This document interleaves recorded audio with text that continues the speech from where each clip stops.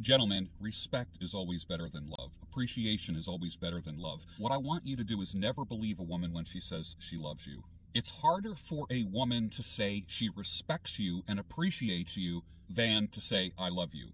And you get all soft and surrendery when you hear a woman say that she loves you. That's your first mistake. When she sees you light up at the word love, she will use that as a smokescreen because she can't say respect and appreciate. Absolute fact. You got to listen to me on this. What you are looking for is a woman that will not make you soft, but make you hard. And I'm not talking about in a sexual manner, although snicker, snicker. Yeah, you want a woman that makes you hard. I get it. And I've used that humor before. We want a woman that makes our dick hard, not our life hard. What we are looking for is a woman that makes us firm.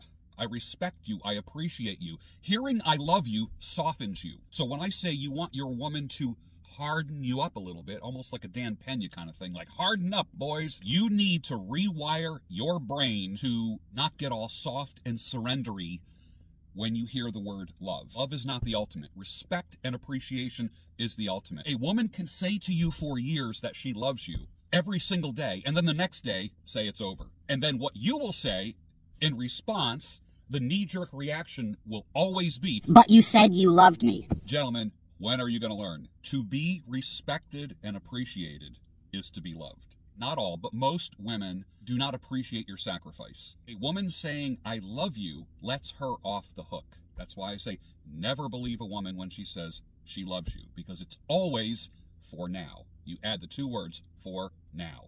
I love you for now. Listen to my words now or suffer later.